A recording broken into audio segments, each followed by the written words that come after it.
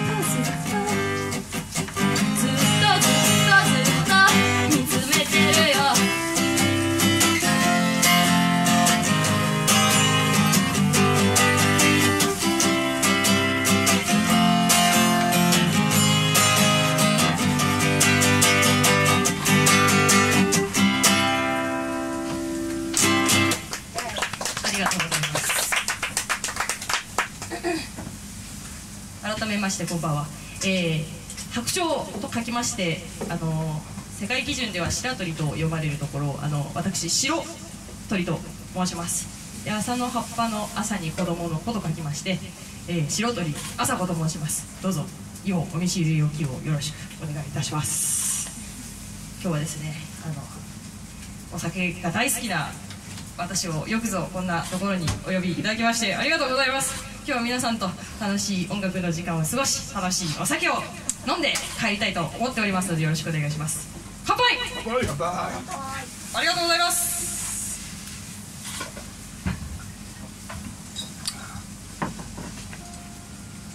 えー、夜も更けてまいりましたので、えー、夜空の曲を一曲お届けしたいと思います。脳内ロケット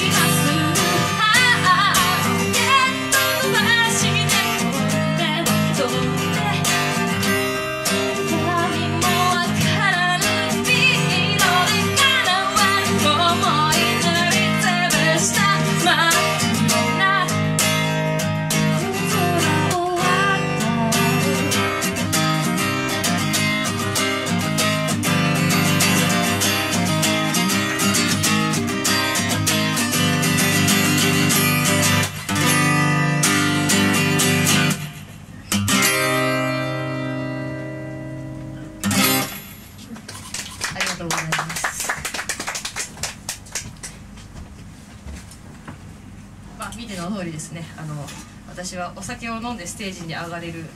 ところではですねこうやってお酒をあの手に持ってステージに上がらせていただいているわけですので皆様もあの私と同じように自由にお酒を頼んでいただいて自由にトイレに行っていただいて自由に食べ物を食べていただいて結構でございますのであの今日はゆったりとお過ごしいただけたら嬉しいなと思います。すごい硬いね。なんかすごい。なんか真面目な一面が出ちゃっているねお酒が足りていませんね。もう十分だよ。今日ねあの初めましての方が結構いらっしゃるのであの先に言っておきますともし私があのこのままお酒を飲み続けてですねあのなんかその失態を犯してしまったらですねあのそれは寛容な気持ちで受け止めていただいてあのこうやってね初めましての方なのにこう私の弱いところを見せてしまったというふうに受け止めていただいてぎゅっと距離を縮めて仲良くなっていただけたら嬉しいなと思っておりますのであの寛容な心で よろしくお願いします。人間誰しもにもダメなところはあるのでそのダメなところがね愛してあげたいよっていう曲を歌いたいと思います私の鼻毛ボーイという曲です聴いてください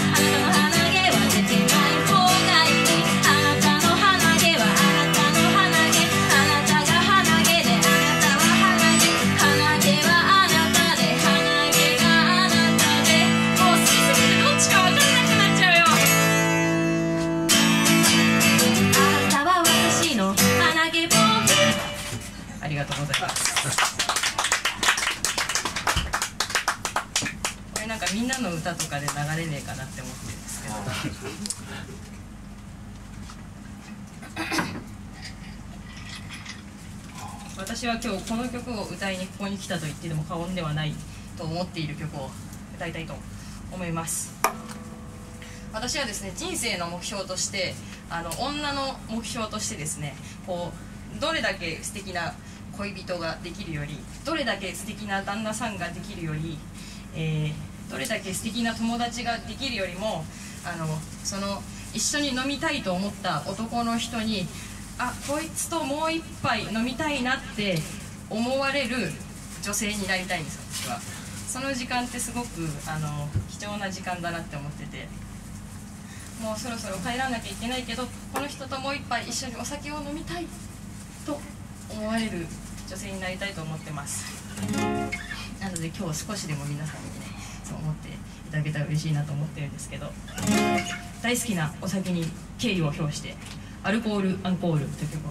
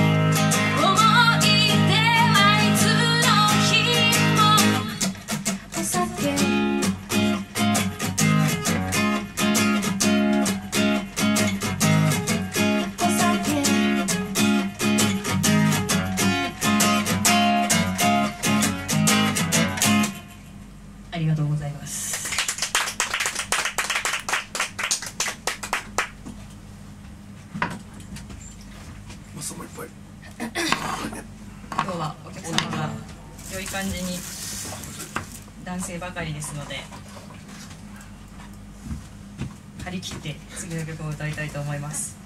あの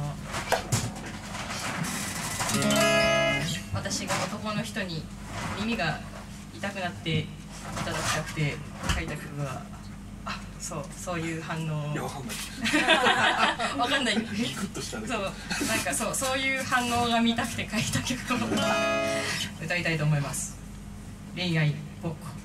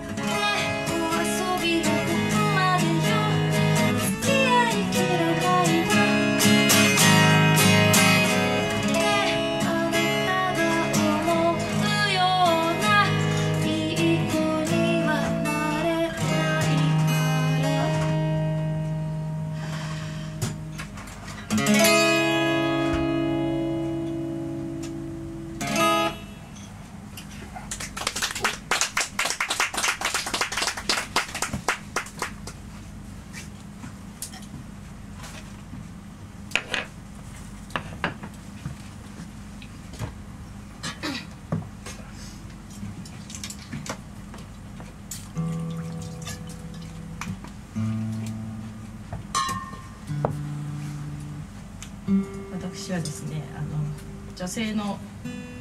とても弱い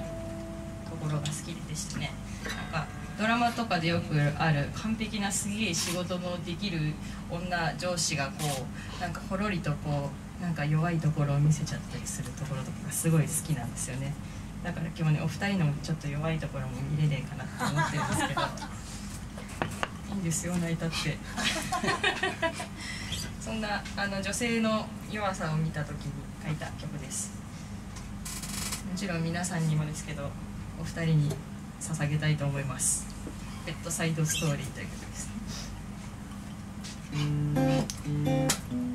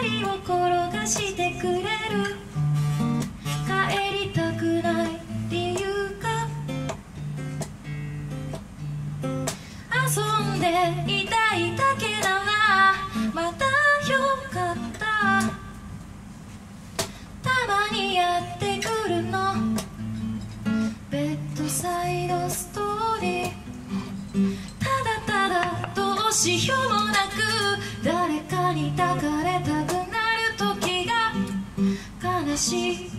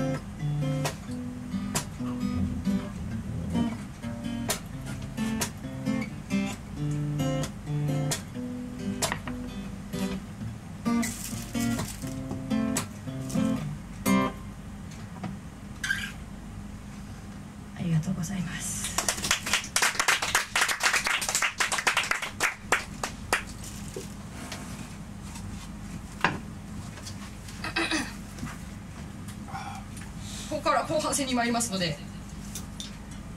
私がライブのテンションが上がって忘れないうちにお知らせをさせていただきますと今日 CD を持ってきてます。しかし1枚。1枚。のの 2, 2曲入り500円 CD1 枚。とカレンダー。1枚。あります。CD より高い1500円です。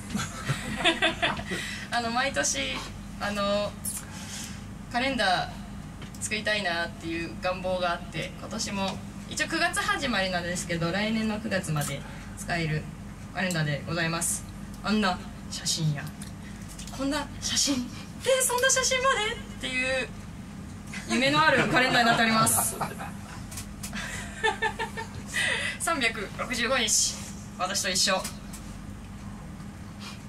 です。お部屋に置いていただけたら。泣きながら帰った夜も。あ白鳥さん。楽しい朝も。お白鳥さん。っていう感じであの皆様の喜怒哀楽を共に過ごしたいと思って作ったカレンダーでございます。よろしければ買って帰ってください。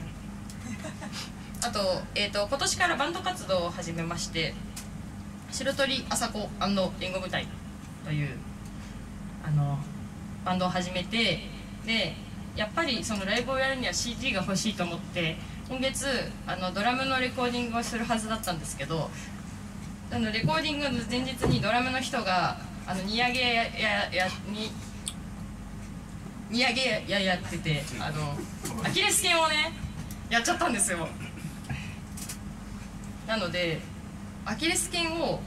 その切ったわけじゃないんだけど炎症を起こしててどうやらその切ってしまうともう1ヶ月ぐらい歩けなくなるらしいんですよ。そりゃ無茶させられねえなってことで急遽あの2時間撮ったレコーディングの時間をドラムの人来れないんでうわどうしようと思ってでもキャンセルするのもったいないしと思ってあの弾き語りの CD をレコーディングしましたこの間。それを多分年末か年始に発売したいと思ってます。いつだよって話ですけど年末か年始に発売したいと思ってます。なのであのせっかくですので Twitter アメーバブログを Facebook を追跡していただいて「あ白鳥さんさこの間これ言ってた CD やっと出すんだ。へえ!」みたいなことを思っていただけたら嬉しいなと思います。これねみたいな。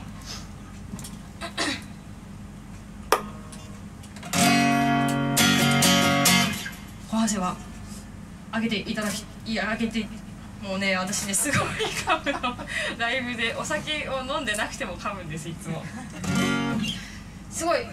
上げていきたいと思ってます。あのうどんすすりながらでも結構です。あのさつまいもつまみままでも結構ですのであの。えーシラフでも噛むんです。とても。それはまあ愛嬌ということで。今日何も考えずに明日土日ですのでまだ仕事の方もいらっしゃるかもしれないですけど今日というせっかくここに足を運んで楽しみに来て見たかったライブが見れる今日この時間を何も考えずに楽しんでいただきたいという気持ちを込めて「のパンティーデー」という曲を歌います。聴いてください。」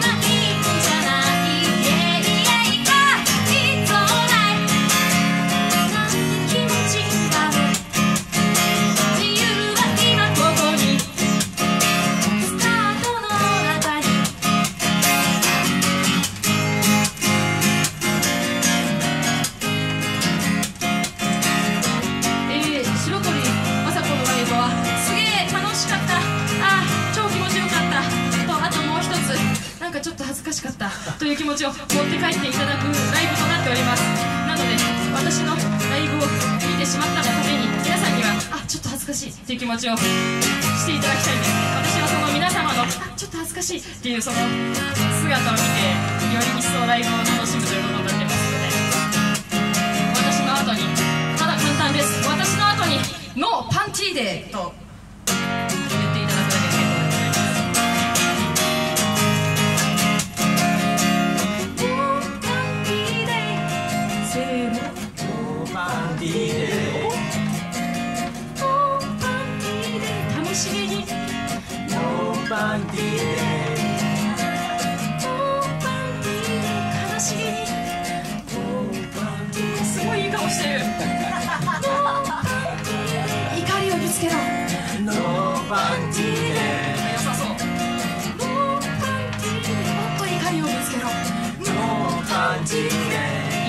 すごい。ね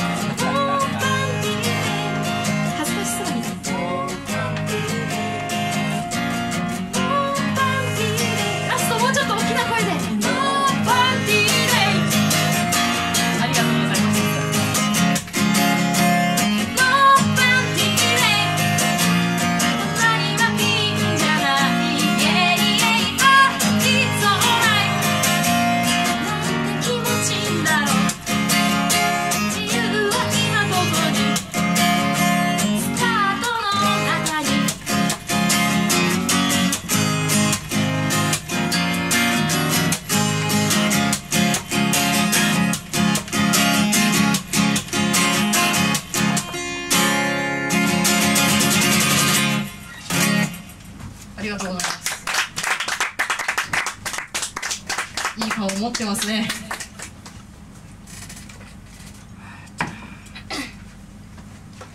水割水割り。えー次で縁も竹生最後の曲になりますが、この後も。山子さん、あやみさんのライブを楽しんで帰っていただきたいと思いますが、注意事項をお伝えいたしますと。私は最近この曲を必ず最後にやっていきましてですね皆様に注意喚起したがためにあのちょっと問題が最近ちょっと起こってましてあのこうやってねライブを楽しんでる時にお手洗いに行きたくなるじゃないですか。そのあもう次で最後の曲すごいいい曲の時なのにわすごいトイレ行きたい。でもなんか今行くのもあれだけどこのトイレに行きたいモヤモヤを抱えたままこの最後のいい時間を過ごすのもなんかどうしようかなみたいなあの体験をよくするんです私は。人のライブを見に行ってあの人の、ね、楽しいライブを見るとあの今日のようにお酒をいっぱい飲んでしまってお酒をいっぱい飲んだ分すごくトイレに行きたくなってしまってその現象が常日頃起こってるんですけどだからあのトイレは行きたい時に自分のタイミングでしっかり行っておきましょうっていうことを最近ライブで言って最後の曲をやるんですけどそれをやってしがしまったがために私のライブが終わった後にトイレにすごい行列ができちゃうんです最近。そうみんながなんかすごいあいやトイレ行きたくなっちゃったみたいな感じになっちゃって。でもちろん私もあの僭越ながらあのライブが終わったらもちろん私も人間ですがトイレに行きたくなるわけですよ。そうするとその自分で作った行列の一番後ろにこうやっていつもトイレを待っているっていう状況になってしまうんですが。はいいらっしゃいませ。ということでございます。まあそんな現象が起こってしまうんですけれどもあのもうもうもし私が今トイレに行きたいと思ってても皆様気にせず先に行けそういう気持ちで歌いたいと思います。もうもうあとはあとは大丈夫だからもう先に行けという気持ちで歌いたいと思います。トイレに行きたいそんな時。トイレット。ウォーズという曲で終わりにしたいと思います。白鳥あさこでございました。ありがとうございました。